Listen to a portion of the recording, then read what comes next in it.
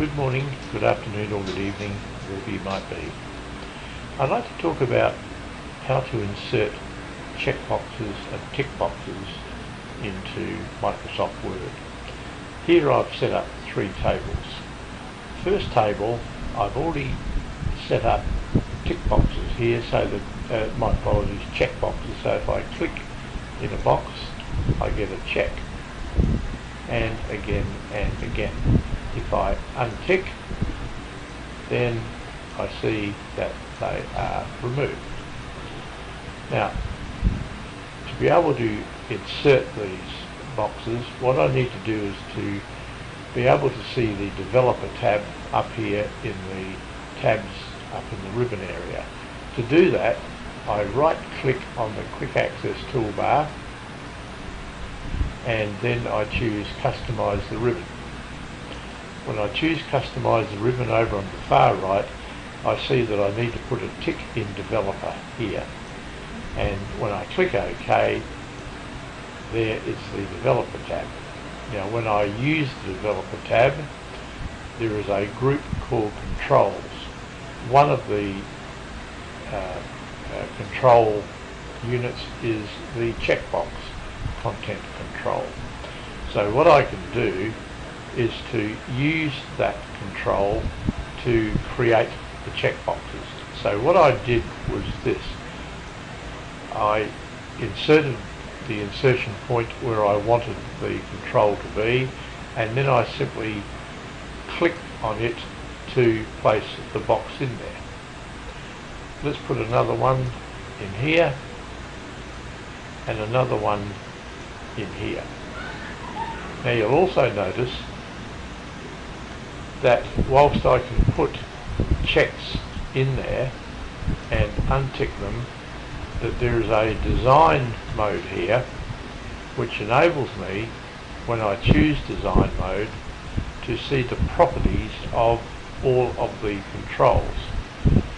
I want to change these controls here from checkboxes to ticks. I need to do that by going to the properties and down in the bottom of the properties the check symbol I can change. So when I change the check symbol I can insert just a tick outside of a box, no box at all, or a tick in a box. I'll use the tick in the box. So I choose that one and click OK. Now when I choose OK, in this particular one, I click in it, but nothing happens. That's because I have to turn design mode off, which enables the check and tick boxes to be usable. So when I turn off design mode, I can now click in that one and there is my tick. If I click away, if I click on that one, you remember I only changed the box in that particular control so these two are still the same. But what I'm going to do is to change this one to a tick and no box just to see how it looks. Some people prefer just a tick and no surrounding box. So in this case I'm going to turn on design mode go to properties and I'm going to say the check symbol. I'm going to change to just a tick. And when I click OK, I'll leave the unchecked symbol as a box to show me that nothing has been uh, clicked or ticked. I'll now click OK. I'll turn off design mode and now I see when I click away that that particular box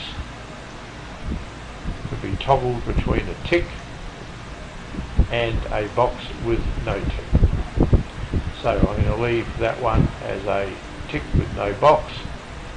And this one, we will go to design mode and properties and we'll change the check symbol in this particular one uh, to uh, this this uh, square root sign. Uh, it, it, it, looks like a tick, but it's uh, it's just a bit different. Just to show you, you can put uh, different symbols into boxes. So we'll click OK, click OK again, and there is that particular type of tick. Now I'll turn off design mode and when I untick it there it is there.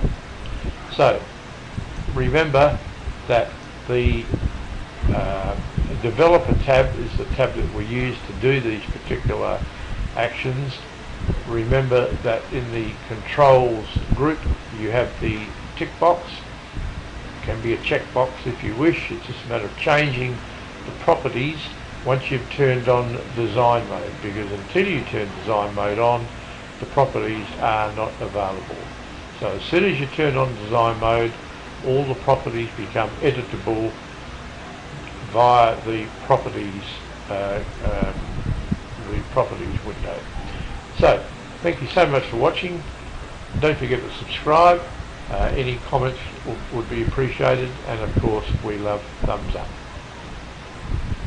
Incidentally, on the web page in the description you'll see you can download this particular file uh, so that you can use it uh, down in here to just play about with the um, with the concept until you get the knack of it because uh, when you know how to put tick boxes and check boxes etc into Word documents they become eminently more usable.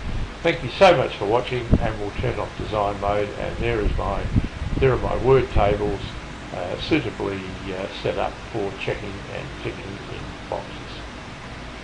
Bye for now.